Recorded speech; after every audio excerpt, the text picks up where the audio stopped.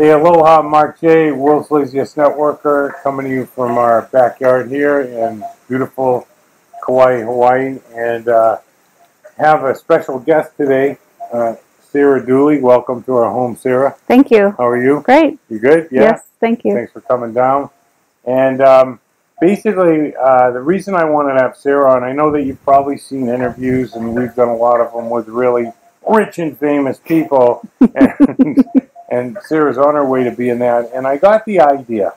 Um, you know, when we've had wonderful interviews with Ri- Richard uh, Bliss Brooke and Tom Big Al Schreiter, and recently I did something with Tom Chenault, and all that's great. But I know when I was first starting that I would, you know, I would see these high pin levels and everything, but I wanted to know about the people in between, you know, the early struggles and all that, because they're so past it, right? it's like, oh yeah, it's no big deal, you know, but they've been doing it for 10 or 20 years, and you just got started many years ago? Three years ago, About three years ago, yeah. And at that time, you were living in Kauai, you were living in Kauai, and before that, you were Houston, Texas. Houston, Texas. My brother's from Houston. Oh yeah. Yeah, we used to, yeah, he lives in Houston. Pappasitos, right? Yep. The big platter. Yep. The big the drink, the orange, the grande, a big one, right? So anyway, um, actually met Sarah at a live event that we had here in Kauai recently, and the reason I asked her to uh, come down and do an interview because she now lives on Kauai is because of who she was when I met her, which to me was quite remarkable, and it's what we really try to get across in the courses that we teach, but meet very few people that have the courage or the intelligence. I think it's intelligence, not courage, but maybe you can straighten us out on that. What was so impressive about you is that um, you made a lifestyle choice before you started making money in network marketing. Mhm. Um, can you tell us a little bit about that? Yes, we decided to move to Kauai from Houston because we wanted to raise our daughter here. And it was a big transition. My family didn't think we had the guts to do it. but of course we we made a plan and and we did it and zero regrets. Yeah. So you've had a dream beforehand. Now, I think what's really important for people that are aspiring to succeed in network marketing, and you correct me if I'm wrong or you don't agree, um, is that basically you got to have a vision.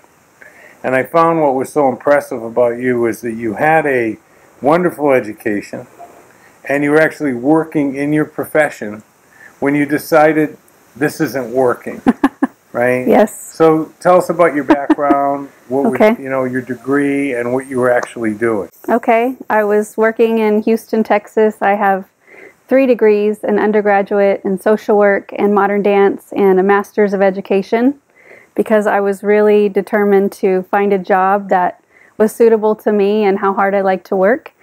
And I worked in teaching for about four years, and I had a change of heart one summer. I, even though I had signed my contract, I just I just couldn't go back. Um, I knew there was something else for me, so I left it. Yeah. and Yeah. that was more about family. Mm-hmm. Right. Yeah. And, and I think a lot of people uh, get involved in network marketing and um, they say, I got involved in network marketing because I want things to be better for my family. You know, I want more money from my family. I want more time. And the first thing that happens is they're spending less time and with their family and there's less money because they're investing in the business. And you made that decision to improve the quality of life for your family before you had success in network marketing. Uh, Yes. tell me about that. You know, what was that? What really went on for you internally? Because I think, or I actually believe, and, and again, if you don't agree, that's what people want to know. That's why you're here. Um, that you've got to have a vision, and then you build into that vision little new things that you open to. But if there's no vision, there's really no chance of being successful. I think a lot of people get involved in network marketing because they want to get rid of the bills, they want to get rid of the bad car, they want to get rid of the job, and mm-hmm. that does that's not going to get it done because that's mm. all fear based. So you made a faith based decision. Tell me about that. How did you find the confidence or the conviction? I mean, what actually mm. happened? You said we're done with Houston. We're moving to Kauai. I just knew that I knew that I knew that I knew that the biggest contribution I could make to my life, to anyone's life, was to be a stay at home mom for my daughter, and that was just my personal choice.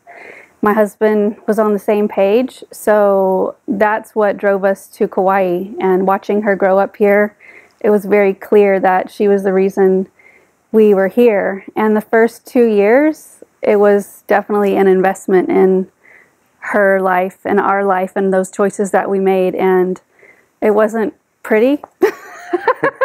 I mean, our cost of living tripled, and now we had one income instead of two, and there were three of us. We shared a car. We, you know, we scraped by.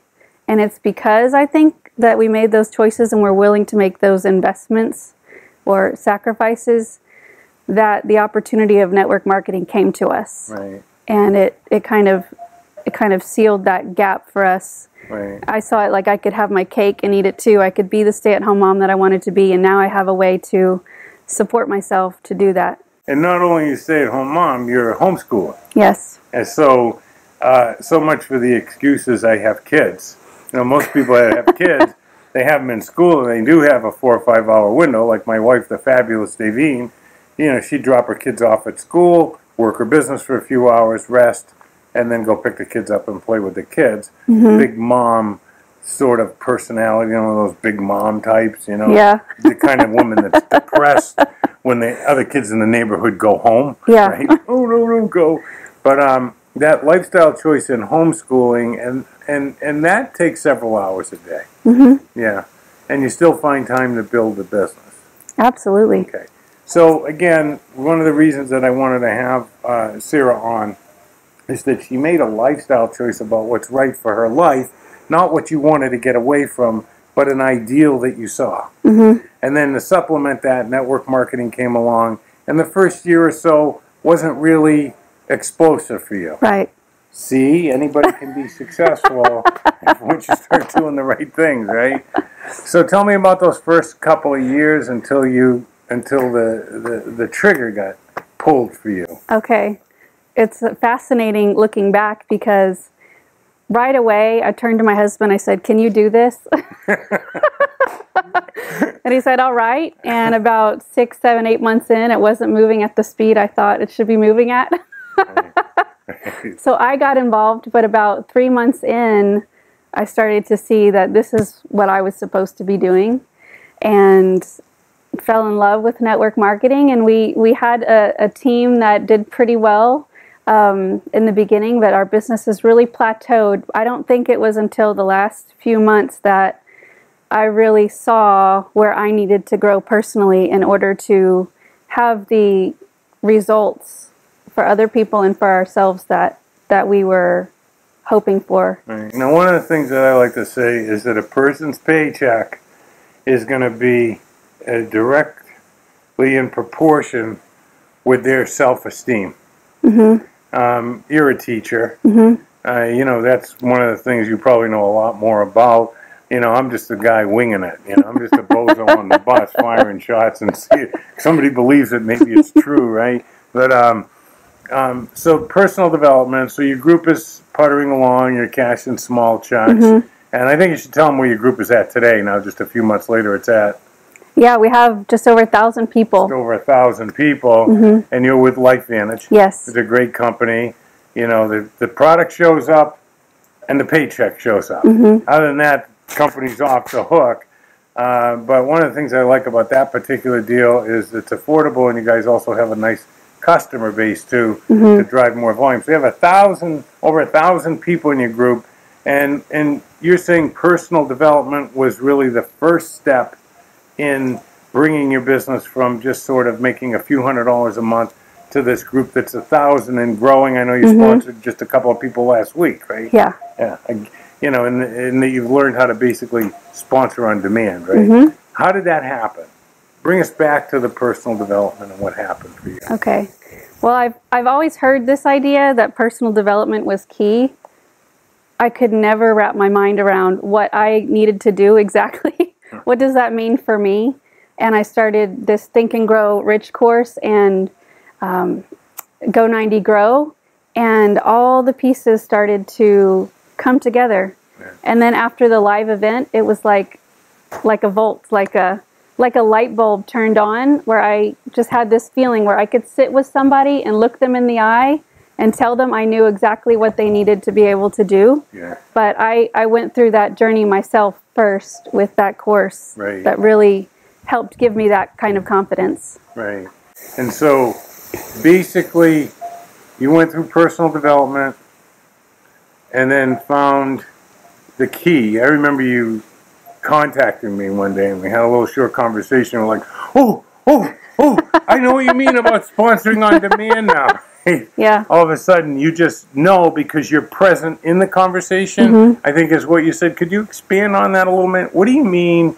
Uh, you know, look me in the eye and tell me what you mean by present in the conversation with a prospect, because that's really what people want to know. Yeah. right? They don't really understand that getting them in is easy once you mm-hmm. know it's easy. Mm-hmm. Helping them produce. So we'll get to helping them produce in a minute. But getting people in and that sitting there and being present. Can you tell me how what that was like for you? Okay. Well, I have a I have this idea of what they want in their life, what they want more of or less of. Mm-hmm. And I recognize that the person sitting in front of me wants someone to help them make that decision. And the best thing that I can do is to be in service to what they want. And now I see that I can help them get what they want and and just communicate that to them. And here's the big hundred thousand dollar a year question: How do you find out what they want more than less of? You ask them. You ask them. you ask Right. them, and then you Close your mouth. close your pie hole. Yeah. And so that's worked out. And so now you're enrolling people virtually on demand. Your group's at a thousand people. Um, you can see the light moving towards you rather than having to move towards the light of that, you know, materializing that ideal. And so now the challenge changes is getting people to produce and helping them grow personally. And of course, um, you know, years ago, I don't know if you know this or not, but years ago, um, they used to have on network marketing applications your occupation. Hmm. And, you know, some group that had nothing better to do, right, said, hey, let's take that off there. You shouldn't have to ask that. But they used to track it, and the number one success rate were teachers. Hmm. Number two were st- the stay-at-home parent. Hmm. And number three were engineers and accountants, because when you tell them to do things one, two, three, four, five. So you're a stay-at-home mom and you're a teacher, right? Yes. So what insights can you share with people? Because I know your team's producing. You didn't put a thousand people in. No. Uh, what insights can you share so you get someone in the business and everybody knows that it's not about sponsoring more, it's about getting more people sponsoring and building their confidence. What do you do with people to get them moving in the right direction? well, I constantly help remind them why they're there and show them the simple, simple, simple steps to get them what they want. And I relate what they're doing, the behaviors that we do to build the business, I relate it to what they want. Right. So you don't focus on results, Right. which is which is right out of a great book called The Influencer. It's got nothing to do with network marketing. Buy it, you get rich. Uh, don't buy it, you'll stay poor. And I didn't write it. Okay, I'll give you a shameless plug for my book later. But anyway, so basically, you focus on their behaviors. Mm-hmm. And I know that you've talked a lot about talking in a language that they understand. Tell me what that means because that's really the key. You know, everybody says, "Oh, relationships are key," but they don't tell you how to improve them, and you've learned how to improve them, right? Yes, I I've learned through this course that not everybody speaks or understands the way that I understand things. So we do the color code and we find out what what they're motivated by, Right. and I use that to communicate to them, and it's so much more effective. Really. Yes, I think that I used to push people away because I didn't understand why they didn't want to do all this with their calendar just like I do and why aren't they so organized and don't they think like this? But now I see that this is a person in front of me who speaks a completely different language, is motivated by different things, mm-hmm. and I have that sense of understanding which I'm continuing to develop, Sure. but that's that's how I've learned to be more effective at communicating with people. Right. So we'll put that link down there for them so they can get their Okay. color right. So you think that that's a great thing, Absolutely. and that's free, right? You Yes. get it done for your teammates free.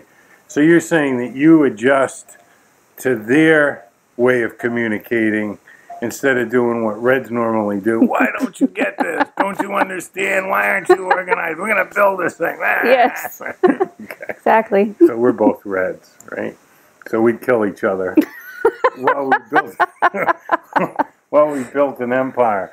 So basically, you're enrolling people now. When you're sitting down with them, you're finding out what they want more of and less of. And you said something really important, as far as I'm concerned. It's really the key to success, in in my opinion. Like your opinion on it, success is service. Yeah. How Yes. do you feel about that? Absolutely. Yeah. And how do you, you go about that? You get their color so you can talk in a language that they understand. So your communication skills uh, are improving with your teammates. hmm And how about at home? Yes, Yes? definitely. yeah. Always a work in progress, but improving. Yeah, my wife's a blue, so it's, you know, it's, like- it's, it's a battle of control freaks. But anyway, um, so you get them in and you get them rolling and you're doing a lot of this. I know that you've moved away from what's now being taught online and plugging them into stuff and just doing the work with them. How does Mm-hmm. Yeah. that compare to the, the, the modus operandi or the way that you teach? Is it parallel to it? I mean, is showing people what to do. I, I just like to say, show and tell is the way to go. How do you feel about that? Well, as you say, the proof is in the printout. the proof for me was when we had these three new team members come on. I kid you not, I've never had this experience before, but three of them looked at me and they said, I trust you. I trust that you're going to help me in this process. And all I've done is told them that we're going to work hands on, and I just really communicated that, that part to them specifically. Yeah, and people appreciate that. Yes. Yeah, I, I, I like to say that, uh, and maybe this is your experience, but when people join, they're never more excited, you know, in that first 48 hours. They got visions of sugar plums dancing in their head, and they're going to make 20, 30,000 a month, and they're going to save the world and save the whales. And simultaneously, the other, the other mouth in their head is saying, "You're a loser. You're never going to make it." So fear and fa- fear and faith, or success and failure, are just having this battle up there. Mm-hmm. And to be able to educe or draw trust out of them is huge. And you'd say that that's a direct result of what exactly happens? Do you think that triggers that? I mean, I know you and I know you're trustworthy, mm-hmm. but a lot of us have been burned before, so Yeah. we're skeptical going in. How do you how do you feel is a good way, if you could share it with people, to bridge that, to build a bridge to trust? You know, what do you actually do besides the color, or you just keep it simple? to bridge the trust, I uh, I I commun- I do my best to communicate clearly to their color, like you said. Um, also, we work hands on. I we make the calls together, Right. and Say that again. we make the calls together. I want to make sure the mic is on. Say it again. We make calls together. Okay. people telling you, here, here's a script, line people up. It's, it, it's a graveyard. Yeah. It's a graveyard, right? Okay, so anyway, you've got it. Where are we at for space here? Okay, so um, couple of off the cuff questions. Put you on the spot here. Okay. We call it the, the, the hot seat, right? Three do's. Three things that you would say, you know, based on your struggle for two and a half years, and all of a sudden your business is taking off. People are enrolling people. They're trusting you. Teammates are giving you everything they have. Where before, like myself, you were like pulling teeth to get them to do anything. Three do's. Go 90 grow. Can I say that? Well, we're not here to plug me, but you know that's fine. that made the difference for me. Learning the skills, so skills. skills, Gotta learn the skills, right? personal development, Mhm. And organized planning. That's the truth. like- So rad. That's the truth. and three don'ts. Um, don't drop, Drop your, your mic. don't work alone. Work with some people you can bounce ideas off of. Right. Um, don't be inconsistent. and don't forget the reason why you're doing what you're doing. Yeah, beautiful. Yeah, yeah. Because I know now, like myself, you know, I used to be depressed before nine o'clock in the morning and after nine o'clock at night. I'd be waiting for the second hand to move up so I could start calling people, bouncing on a bed, rather than feeling guilty.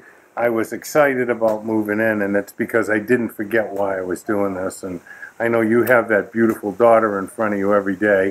Let's give her a shameless plug. You can say hello. Hi, Alana. I love you. Hi, Alana. I love you too. Thanks for liking my book, Standing Tall. Totally get in a shameless plug. But anyway, um, actually, Joey the giraffe stands tall, right? That's Yes. the one. So, um, okay, we end the, all our interviews the same way. Um, and um, we're going to ask you a series of questions, just whatever comes to your mind. Your favorite word? Red. She's about the money, the bottom line. Okay. And your least favorite word? Oh, hate, hmm. war, something like that. Yeah. Yeah, Einstein said war is a three letter word for murder. Hmm. I'm with you there. What turns you on? Learning something new in a challenging way. Okay. What turns Yeah. you off? Bitter, angry people, negative energy. Uh, I'm very positive. What's your favorite sound? I like that bamboo and the sound of the ocean. Yeah. Nice. And your least favorite sound? Screaming. Screaming. Yeah. Okay. Well, that's why we're not a match. I do a little primal screaming. Other than network marketing, which obviously you're succeeding and you're on your way into that legend status, what profession would you like to try? I've always wanted to be a librarian. Wow. Got to put your hair on up a bun. Give Yeah. me one of these. Oh, perfect. okay. And what profession would you least like to try ever? Politics. Oh, Yeah. I hear you. Talk about screaming. Okay. Favorite cuss word? F word. And last question for you. If heaven exists, when you get to the pearly gates, what would you like to hear God say? I love you. Uh, and I love you too. Thanks for coming. Thank you. Hey, peace be the journey. Let's say bye to your daughter one more time. Aloha. Aloha. Peace out.